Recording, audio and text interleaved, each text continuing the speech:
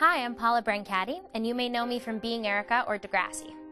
Most of us know someone who has been affected by sexual violence, but hardly anyone seems to talk about it. Maybe they don't know what it is. Do you? Here's a quiz question designed to test your knowledge. How would you respond if a friend told you, This guy sends me sexual texts and it makes me uncomfortable?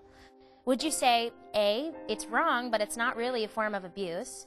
B, you might be misinterpreting what he means? C, he's just joking?